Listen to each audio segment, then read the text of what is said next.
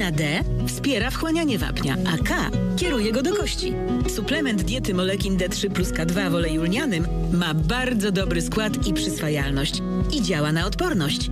Molekin to wysoka jakość, aż 2,5 miesiąca kuracji i korzystna cena. Zdrowit. Po reklamie.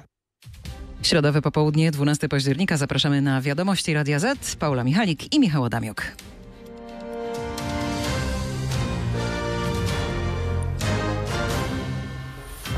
PiS mebluje gabinet Mateusza Morawieckiego. Marek Kuchciński już w rządzie, Konrad Szymański traci stanowisko. W Sopocie festiwal wymiany myśli, debat i rozmów o przyszłości. Czyli Europejskie Forum Nowych Idei. Stąd nadajemy wiadomości i stąd za chwilę gość Radia Z. Henryka Bochniarz z Konfederacji Lewiatan u Beaty Lubeckiej.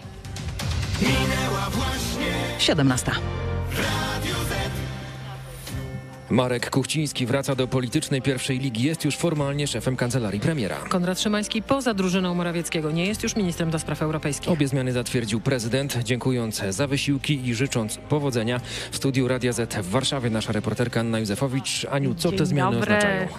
Najwyraźniej to, że premier Morawiecki ma w swojej partii coraz niższe notowania. Taka nagła zmiana ministra bardzo doświadczonego w sprawach europejskich może oznaczać też kolejne zaostrzenie kursu wobec Unii. A minister Szymański, doświadczony dyplomata, umiał łagodzić sytuację, a teraz nie wiadomo, kto go zastąpi. Zaś Marek Kuchciński w rządzie to jasny sygnał, że prezes PiS wstawia premierowi swoje ucho i oko, podsumowuje Joanna Schering-Wielgus z Lewicy. Czyli ma słuchać tego, co tam w kancelarii premiera szepczą, ma donosić, ma przynosić wszystkie informacje. No i może tyle maili z prywatnej skrzynki, co jego poprzednik nie będzie pisał. Poprzednik, czyli Michał Dworczyk, bohater afery mailowej. Nie tylko polityków spotkacie na Europejskim Forum Nowych Idei w Sopocie. Możecie tu trafić i na prezesa banku, i na znanego podróżnika, i na popularnego pisarza. Wszyscy szukają odpowiedzi na jedno pytanie. Co będzie jutro? Bo takie właśnie jest hasło tegorocznego 11 Juszewni. O wyzwaniach, przed którymi stoi Europa i cały świat będzie dyskutować m.in. wicemarszałek Sejmu Małgorzata Kidawa-Błońska z Platformy. W tej chwili kryzys energetyczny jest najważniejszy, dotyka każdego z nas i to są największe obawy Polaków, którzy naprawdę boją się dnia następnego, nie wiedzą jaka będzie przyszłość, boją się tej zimy. I jeszcze nie byłam na takim, takiej konferencji w tak trudnym czasie. To jest taki sprawdzian. I właśnie z Europejskiego Forum Nowych Idei w Sopocie. Gość Radia Z. Gościem Radia Z jest Henryka Bochniarz, przewodnicząca, jest Henryka Bochniarz, przewodnicząca Rady Głównej Konfederacji Lewiatan, prosto z Sopotu właśnie, z Europejskim e, Forum Nowych Idei. I tylko przypomnę, że Konfederacja skupia e, ponad 4 tysiące firm, które zatrudniają milion, ponad milion pracowników, a to są, dzień dobry, Dzień dobry. a to są małe firmy, e, duże firmy, średnie firmy, czy wszystkie? Bardzo różne, dlatego że e, w naszych strukturach regionalnych, które mamy we wszystkich województwach, tam są przede wszystkim firmy małe i średnie. Natomiast e, tutaj na szczeblu takim centralnym to są przede wszystkim duże korporacje. Czyli giganci. Ale nie jest to dobry e, dzień dla e, pani organizacji, ponieważ rano gruchnęła wieść, że został zatrzymany e, prezydent Konfederacji nad ranem w Gdańsku. No i e, komunikat CBA brzmi dość poważnie. Przy, przytoczę, żeby nie trzymać naszych, bo nie wszyscy, nie trzymać naszych słuchaczy w niepewności, bo nie wszyscy po prostu musieli to śledzić od rana. Co napisało CBA? Że czynności przeprowadzono w związku z postępowaniem dotyczącym wielomilionowych wyłudzeń z Państwowego Funduszu Rehabilitacji Osób Niepełnosprawnych i Zakładu Ubezpieczeń Społecznych w latach 2010-2019. Koniec cytatu. Jaka była Pani pierwsza myśl? No, ja przyznam się, że kiedy do mnie zadzwonił po siódmej rano pan aspirant, informując To o Pani już tym, wiedziała siódmej rano. Tak, tak, że właśnie został zatrzymany e, pan prezydent Witucki. Mm, Najpierw myślałam, że to ktoś sobie dowcipy robi po prostu, bo to, to było tak bezsensowne kompletnie. No ale dzisiaj nie jest 1 kwietnia. No nie jest 1 kwietnia niestety. No ale jak zaczął, tak powiem, tłumaczyć właśnie, że tutaj jest postępowanie w e, prokuraturze szczecińskiej na jej wniosek, a teraz będą go wieźli do, do Wrocławia, no to zorientowałam się, że niestety to nie jest żart. I muszę powiedzieć, że sama się zastanawiam, co takiego odkryto, bo sprawa jest prowadzona od 2018 roku. A to dotyczy firmy Work Service, także nie ma nic wspólnego z Lewiatanem, e, gdzie Maciej Witucki pełnił różne funkcje, tak? Był przewodniczącym Rady Nadzorczej i e, jakie musiały być te odkrycia w ciągu nocy, rozumiem, do których doszli nasi wybitni śledczy, że postanowili właśnie bladym świtem w Gdańsku zatrzymać i wieść do Wrocławia, bo przecież y, inaczej trudno to wyobrazić sobie, że w końcu osoba, która jest cały czas dostępna, stawiała się na wszystkie e, przesłuchania, e, teraz, tak powiem, jest wieziona z Gdańska do Wrocławia, bo nagle coś się stało. To pani- Zobaczymy, może się co, czegoś dowiemy. A pani zdaniem, znaczy pani wierzy w niewinność em, Macieja Wituckiego, no bo te, mm, ten, to oświadczenie CBA brzmi sensacyjnie.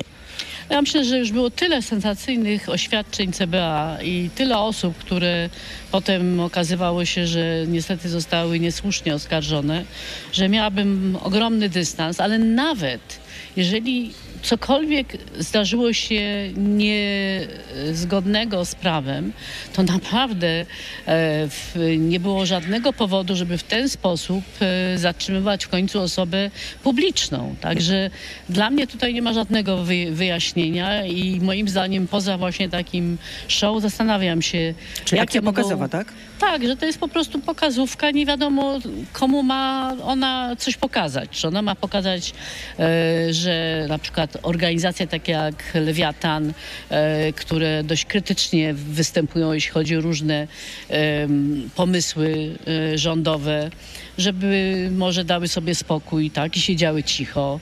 E, Czyli próba zastraszenia? no, ja, no, człowiek zawsze szuka jakichś racjonalnych argumentów, tak? Natomiast no, no, no, to nie jest argument, który powodowałby, żeby ktoś taki e, był w ten sposób e, traktowany, tak? Czyli pani ręczy, można powiedzieć, e, za, No, za, no za, w końcu to jest za osoba, prezydenta która, Konfederacji. która funkcjonuje w naszym życiu gospodarczym przez e, kilkadziesiąt lat. Mm, On był prezesem wielu firm, szefem Rady Nadzorczej wielu firm. I naprawdę, e, nawet jeżeli tam są jakieś rzeczy i jest śledztwo prowadzone przez 4 lata, to ja bym chciała zobaczyć, jakie są te zarzuty. A nie, żeby e, w oświadczeniach mówić, że tutaj wiel... jeżeli tak, to ja mówię, to, to wiadomo było o tym i dwa lata temu, i rok temu, więc dlaczego nie ma postępowania sądowego? Dlaczego ci ludzie po prostu nie mogą być rozliczani przez nasz system e, praworządności i jeżeli coś jest nie w porządku, to wtedy oczywiście trzeba wyciągnąć konsekwencje. Natomiast to wszystko jest po prostu owiane jakimiś domysłami, doniesieniami, e, obrzydliwe, po prostu obrzydliwe. No ale mamy też wojnę w NBP. Mm, Zapewne pani słyszała, że prezes, że prezes NBP e, Adam Glapiński no, napisał takie oświadczenie. Zresztą pod tym oświadczeniem o- podpisało się również e, czworo, e, czy też czterech innych członków e, Rady Polityki e, Pieniężnej. No i grozi się tam prokuraturą. E, Nie są wymienieni z imienia nazwiska e, członkowie Rady Polityki Pieniężnej, ale wiadomo o kogo chodzi. O tych dwoje e, członków e, Rady Polityki Pieniężnej, którzy publicznie krytykują działania Rady. No ale to jest mm, też podobny przypadek, tak? Bo jeżeli coś dzieje się nie w porządku w tak ważnej instytucji jak Rada Polityki Pieniężnej i Bank Centralny, to naprawdę trzeba szukać wszelkich sposobów, żeby mm, wyjaśnić to, spowodować, żeby właśnie nie dochodziło do, do tego typu sytuacji, w której po prostu kolejna instytucja w Polsce jest kompromitowana, której autorytet jest niszczony. Z czym my zostaniemy? Ja już zastanawiam się po prostu, jakie zostały jeszcze instytucje, żeby człowiek mógł powiedzieć, e, ich ranga, wiarygodność e, jest taka, że po prostu można mieć zaufanie, każdy przeciętny obywatel, że to są instytucje, które działają zgodnie z prawem i spełniają swoje funkcje. Ale czym taka wojna grozi? Czym ja mam myślę, że właśnie przede wszystkim ona grozi tym, że, że rzeczywiście nie będziemy mieć zaufania do, już do żadnej instytucji, do żadnej. Ani do CBA, ani do CBS-u. A ja myślę, że my chcielibyśmy żyć w państwie, które właśnie e, przestrzega prawa i jeżeli występuje z oskarżeniami, wszystko jedno, czy to jest szef Banku Centralnego, czy to jest e, przedstawiciel CBA, to my wiemy, że po prostu to wszystko ma za sobą dowody, tak? a nie y, je, tego typu sformułowania, które y, tak na końcu człowiek właściwie nie wie, y, ile w tym w ogóle może być prawdy. Tak? Ja szczerze mówiąc nie, nie pamiętam, żeby doszło do takiej sytuacji, żeby prezes NBP groził prokuratorem e, członkom Rady Po- Polityki Pieniężnej. No nie wiem, pani pamięta coś takiego? No w końcu nie, jest pani świadkiem Bogu, nie pamiętam. Nie chciałabym na przyszłość też pamiętać, bo wydaje mi się, że po prostu naprawdę tak nie powinny działać instytucje państwa.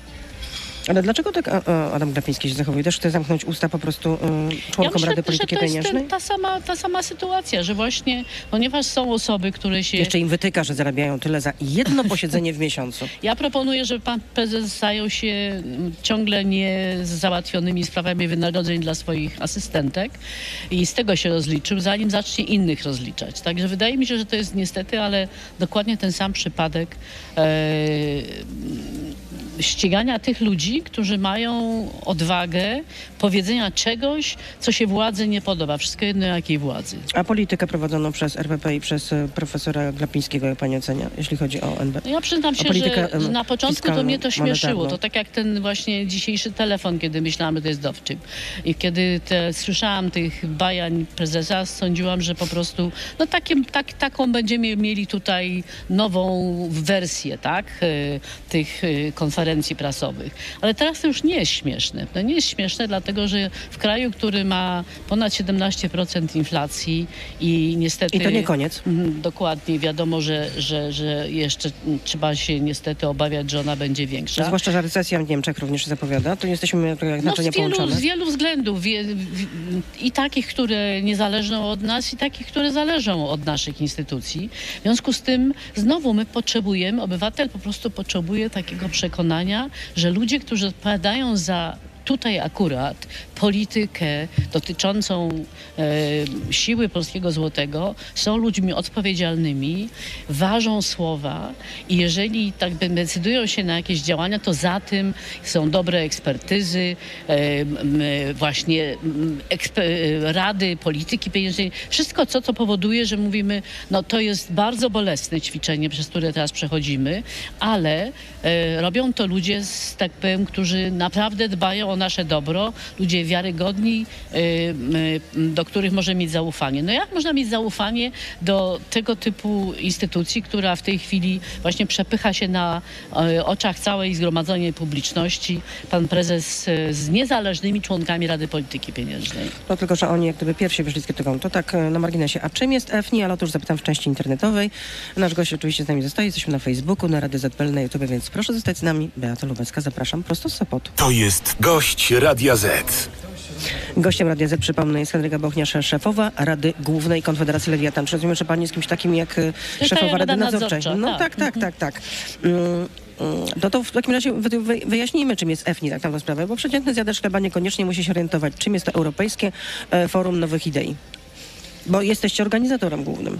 Lewiatan jest organizatorem Europejskiego Forum Nowych Idei i pomysł y, był taki, mm, żeby starać się y, zgromadzić ludzi przynajmniej raz w roku, ale to jest też tak, że jest wiele działań, które się dzieją przed forum i które się dzieją po forum, które spowodowałyby, że mielibyśmy czas na to, żeby dyskutować właśnie o tym, w jakim kierunku powinna zmierzać Unia, co my możemy zrobić jako przedsiębiorcy, co powinny zrobić różnego typu instytucje, jakie decyzje powinny za, za, zapadać w Brukseli. Więc chodziło o to, żeby mieć wpływ na to, ponieważ my jesteśmy członkiem Business Europe, to jest organizacja, największa organizacja pracodawców krajów Unii Europejskiej, żeby e, i wspólnie z nimi organizujemy to, to forum, żeby mieć możliwość wpływania na to, e, co dzieje się w, w Komisji, co dzieje się w Parlamencie Europejskim, co dzieje się w krajach członkowskich, po to tylko, żeby nasze interesy, interesy polskie były najlepiej reprezentowane. I my tu w związku z tym dyskutujemy każdego roku. Są tematy oczywiście, e, które są jakby stałe, tak? Przez całe lata się ciągnące, jak chociażby kwestia dotyczące e, zmian klimatycznych, prawda? Transformacji energetycznej na Transfor- przykład. Ale teraz No, ale właśnie teraz ona to, została to jest najbardziej gorący tak. temat, prawda? Więc teraz oczywiście temu poświęcamy masę czasu, bo wiadomo, że to Są, jest... y, no mamy problemy po prostu, nie ma węgla. No, nie ma węgla, nie ma gazu, nie ma energii. W każdym no, kraju to jeszcze wygląda będzie, inaczej. Ale, ale jeśli chodzi o węgiel, no to na Ale razie my mamy płyn nie. Słyszymy no, ze jak byliśmy tak strasznie uzależnieni od dostaw y, węgla, ropy z, y, Rosji. z, z Rosji, no to niestety właśnie teraz płacimy za to uzależnienie, tak samo jak płacą za to Niemcy, prawda? I ja mam taką nadzieję, że, że właśnie... No, ale oni byli akurat, nie mieli żadnych e, przeciwwskazań.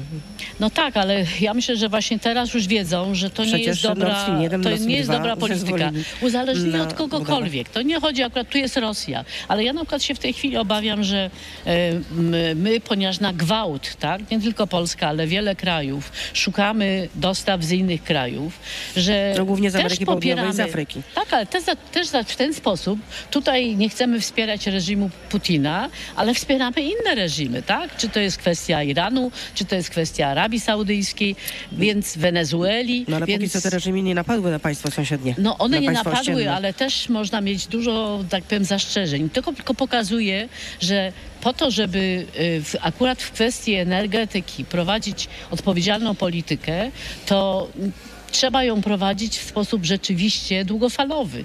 I tego się nie da z soboty na niedzielę Nie. zmienić. Ech, nie, no i niestety właśnie teraz mówię, wszyscy płacimy za to cenę, że nie wyobrażaliśmy sobie tych scenariuszy, tak, które mogą być zagrożeniem. I ja mam taką nadzieję, że ta lekcja właśnie z tego, co w tej chwili się dzieje, będzie na tyle pouczająca, że e, i to widać zresztą, tak, że zaczynamy dywersyfikować te źródła, że zdecydowanie idziemy w kierunku odnawialnych źródeł energii, żeby rzeczywiście... Można było trochę ten czas lepiej wykorzystać w No, 2015 można było roku. wszystko wcześniej zrobić. Ale tutaj dzisiaj oświadczył Władimir Putin, że Rosja jest gotowa, by dostarczać surowce energetyczne Europie.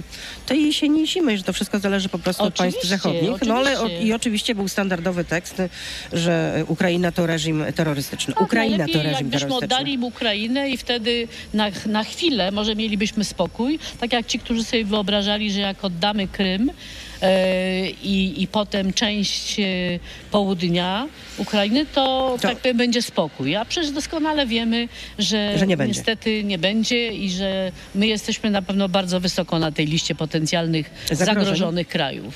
Więc e, tutaj ja Czyli myślę, możemy że być n- e, następnym celem, następnym targetem, tak? Trzeba mieć Ewentualnie świadomość, Bałtowie. że, że, że my dzisiaj pomagamy Ukraińcom, którzy po prostu walczą o naszą wolność.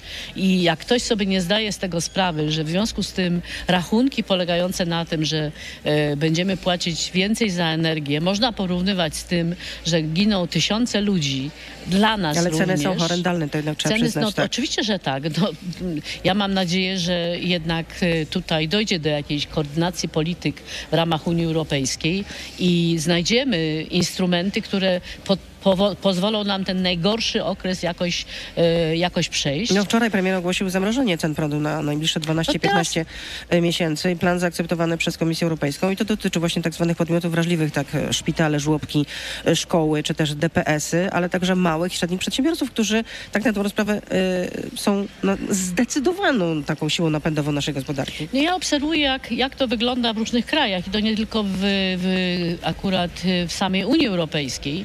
I tutaj widać, że to tak trochę jak z pandemią, tak? Kiedy myśmy się uczyli, jak y, na początku było tak, że każdy kraj chciał sobie sam Żabka zapewnić bezpieczeństwo, sobie, tak. prawda? Mhm. I po czym się No, zorientowaliśmy, trochę że to jest bezsensowne. tak. I to samo jest w tej chwili z polityką energetyczną, że jeżeli będzie tak, że powiedzmy kraje, które stać na to, żeby w dużo większym stopniu subsydiować ceny energii, e, rzeczywiście ogromną część swoich budżetów na to poświęcą, to jest pytanie, co będzie z krajami, które nie będą w stanie kupić tej, tego gazu i tej energii i tej ropy, bo po prostu te ceny pójdą tak wysoko, że, że my tego nie udźwigniemy. Więc ja myślę, że to jest w tej chwili absolutnie sygnał dla Unii i już widzę, że e, coraz więcej jest głosów takich. Był list e, akurat tutaj e, Gentiloniego i, i, i, i Bretona w tej sprawie. Już mówiła o tym Ursula von der Leyen.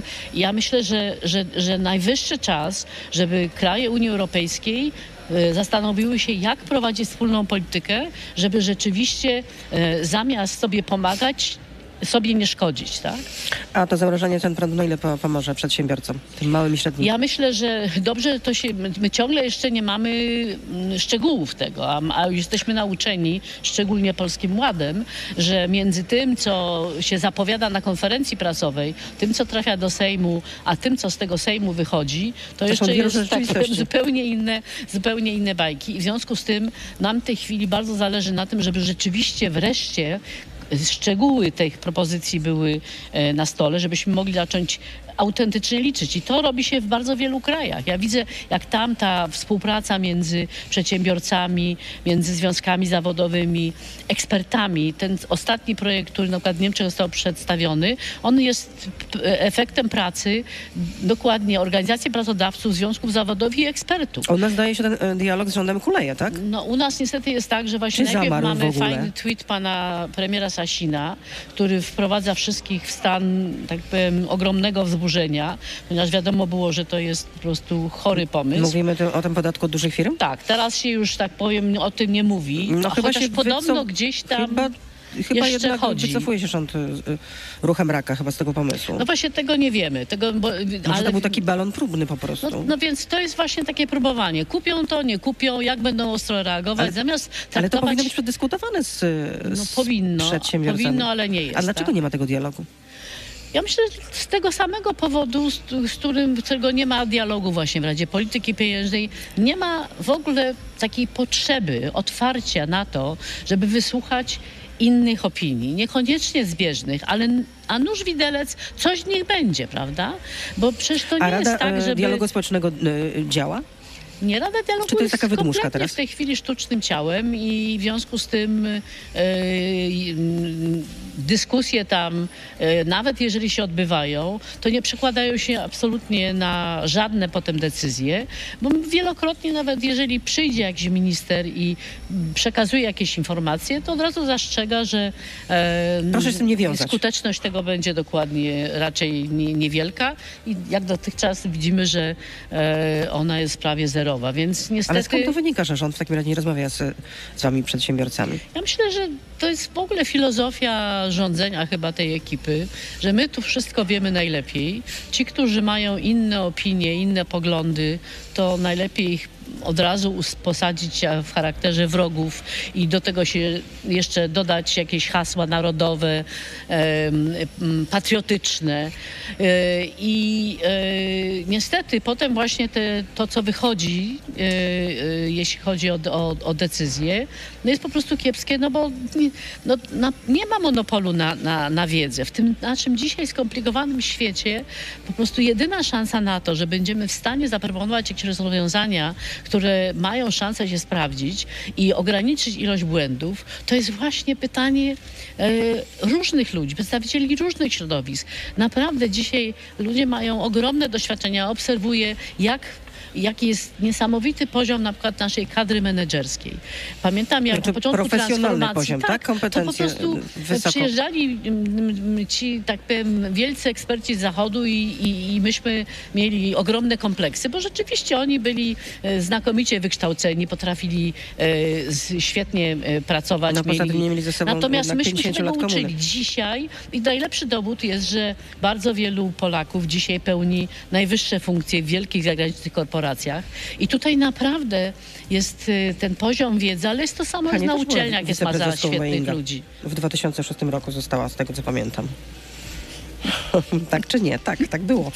A jeśli chodzi o ten dialog, bo nawet Piotr Duda, przewodniczący Solidarności, jest niezadowolony, że tego dialogu nie ma, ale on akurat pro- proponuje, żeby stworzyć jakieś takie ciało, które będzie mm, takim e, forum porozumienia między właśnie Solidarnością a rządem. Tak, tak. No, no, no, niestety obawiam się, że Piotr Duda, jego wariant dialogu to jest wariant y, rząd z Solidarnością. Niesolidarnie. Który oni zresztą ćwiczą, tak? To nie jest tak, bo na razie nie robią tego formalnie. Teraz rozumiem, że on to chce sformalizować. No przyznam się, że, że to też trzeba mieć naprawdę być niesamowitym arogantem, żeby y, wobec tego, jak mamy zorganizowany dialog w Polsce, te wszystkie kryteria, jeśli chodzi o reprezentatywne organizacje pracodawców, reprezentatywne organizacje związków zawodowych, coś, co jest wpisane w ogóle w funkcjonowanie Unii Europejskiej, żeby nagle powiedzieć, nie, tam, tam ci wszyscy są nieważni, my tu jesteśmy najważniejsi, tylko my mamy rację. No to ja już nie wiem, co jest gorsze, tak? Czy ci, którzy w rządzie mówią, że nie będziemy rozmawiać, bo my i tak wiemy lepiej, czy właśnie tacy, którzy też wychodzą, mówią, a zaraz po nich to my też wiemy najlepiej. Czy to taka arogancja władzy też? No niestety, ja myślę, że właśnie ten brak pokory, yy, mówię, zwłaszcza w tym takim strasznie trudnym czasie, kiedy naprawdę trzeba Dwa lata łapać jeszcze każdy nami. wiedzy, tak? Żeby, żeby dojść do jakichś wspólnych rozwiązań. Tarcze antyinflacyjne.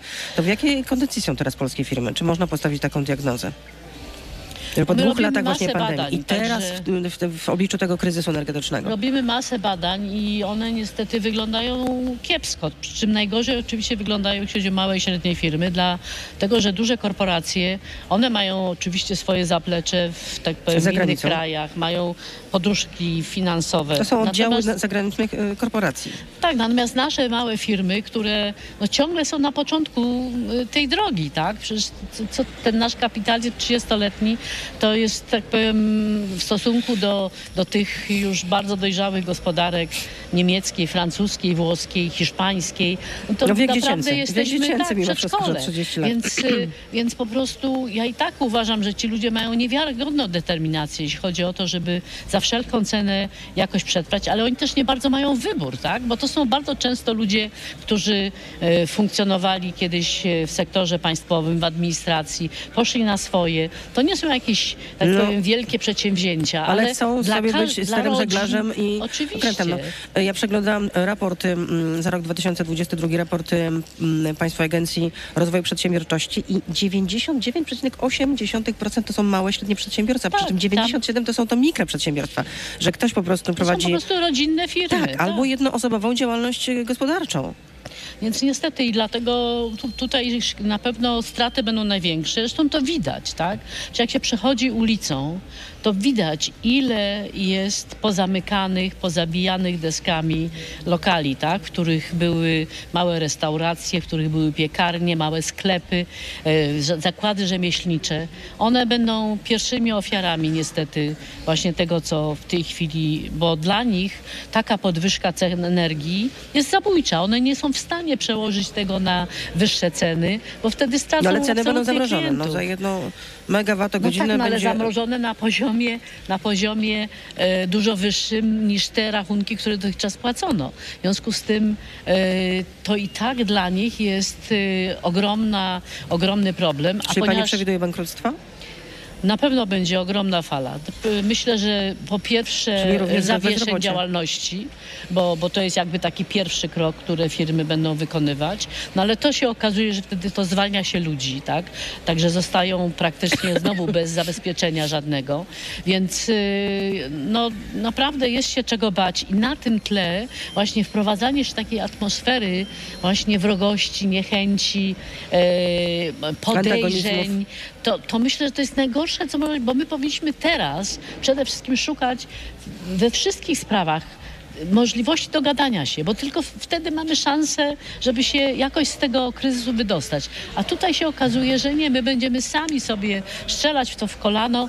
Nie wiadomo właściwie z jakim celem. Ja się tak zastanawiam po prostu, jak, jaki może być cel właśnie tego, żeby nie rozmawiać ze sobą, e, przekazywać, tak powiem, w ostatniej chwili informacje, e, wymyślać e, reguły z nikim, tak powiem, nie, nie, nieprzedyskutowane.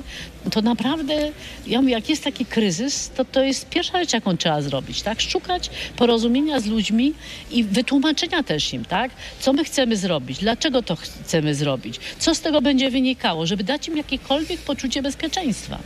To jest pytanie od słuchacza. Jakie, jakie decyzje będą podejmować pracodawcy, kiedy w przyszłym roku dwa razy zostanie podniesiona najniższa krajowa? Przypomnę, że od 1 stycznia płaca minimalna wzrośnie do 3490 zł brutto rzecz jasna. Od 1 lipca, czyli pół roku później, do 3600 zł.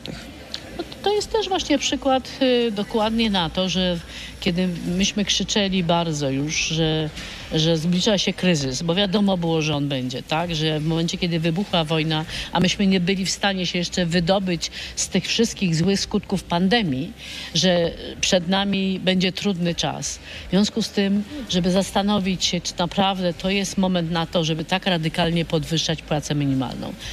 Też nie było żadnej rozmowy. Z drugiej strony na pewno pracobiorcy się z tego bardzo cieszą. Oczywiście, że tak, tylko znowu jest pytanie, czy to nie powinno się odbywać wszystko w ramach właśnie dialogu, rozmowy i szukania wspólnych rozwiązań. Jeżeli to jest, jest tak, jak pani redaktor mówi, tak, że zdecydowana większość firm to są firmy małe. Tam ci ludzie po prostu... Mikroprzedsiębiorstwa. Oni, tak, one, oni ze sobą rozmawiają i oni chcieliby zrozumieć, dlaczego nagle i akurat tam ta płaca minimalna ma znaczenie, bo w dużych firmach to już mało gdzie się płacę minimalną stosuje. Ale w takich małych to jak w takich najbardziej tak. małych Budżet może że się nie tak. dopiąć. Bo to ludzie pracują na, poło- na połówkę, no dorabiają i tak dalej, i tak dalej.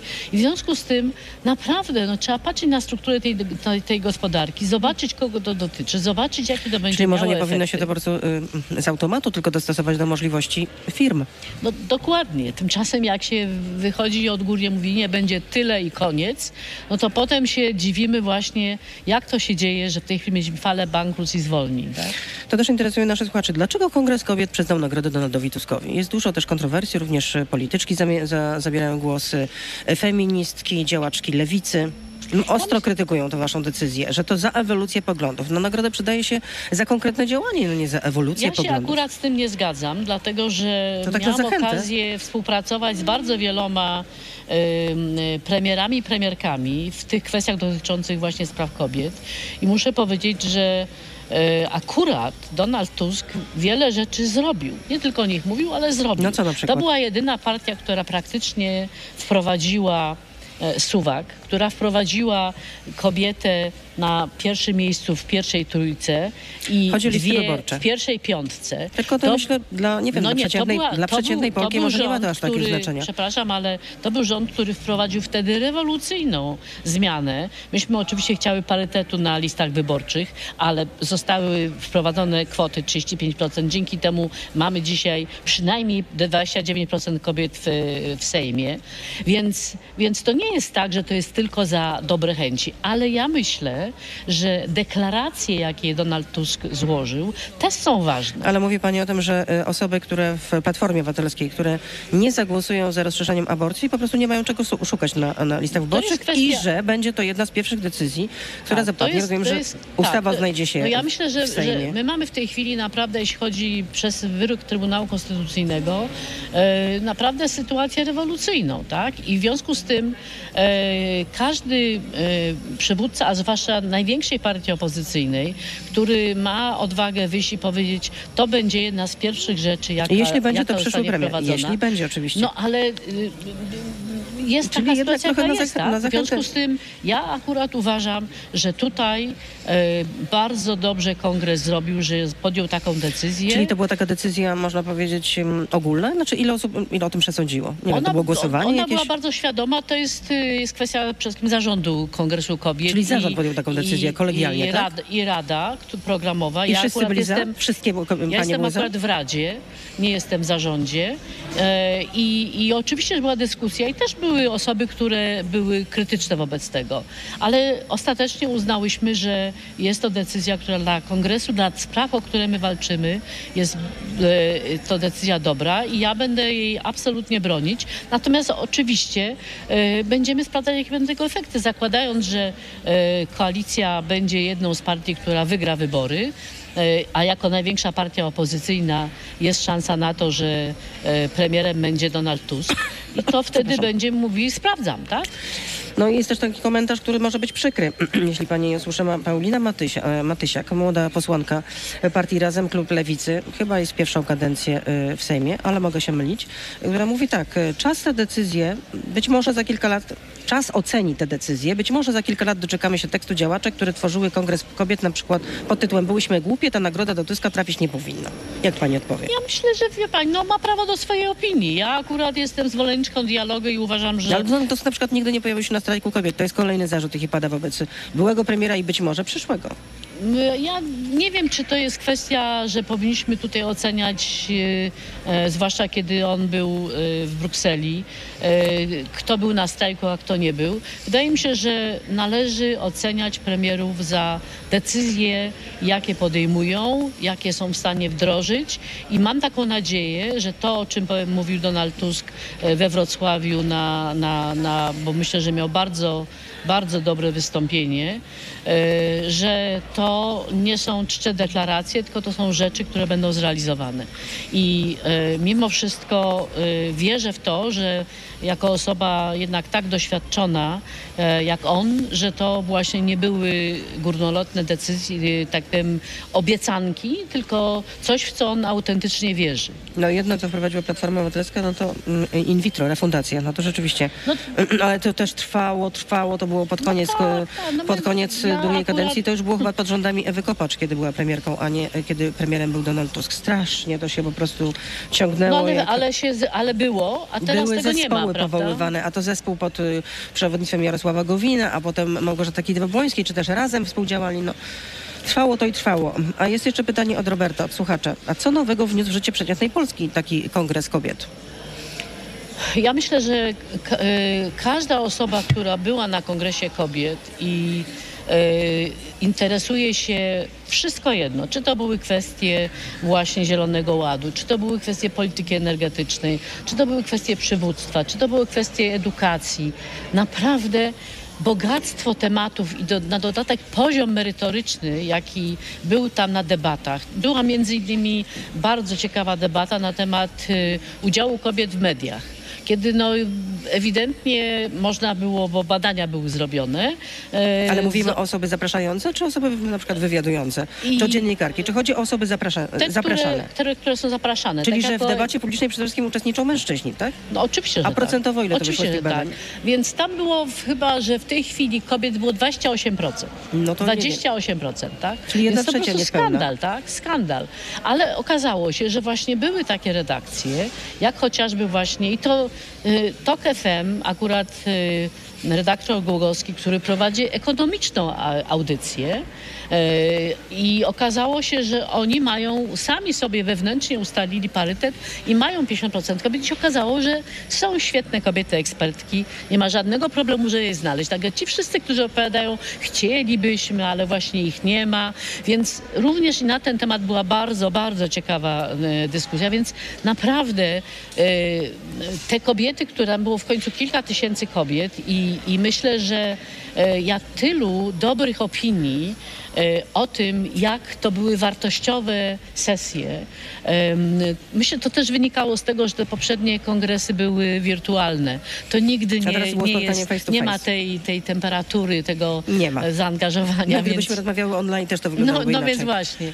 Więc ja nie myślę, ma przepływu że... energii po prostu. Tak, że to też z tego wynikało, ale naprawdę e, i, i przecież była masa młodych dziewczyn, bardzo dużo mężczyzn również, więc No, e, przede ja proponuję, żeby każda osoba, która chce, tak powiem, się dowiedzieć, jaki wpływ ma kongres, jakimi tematami się zajmuje, niech się w przyszłym roku najlepiej na kongresie pojawi i dopiero potem niech mówi, że coś było nie tak. To prawda? będzie 15 kongres. To będzie już 15, tak, 15 jubileuszowy. Bardzo dziękuję za to spotkanie. Henryka Bochniarz, przewodnicząca Rady Głównej Dziękuję Konfederacji bardzo. Lewiatan nami. I też poczepiać doktor nauk ekonomicznych. Dziękuję, do widzenia. To był gość Radia Z. Słuchaj codziennie w Radio Z i na player radioz.pl.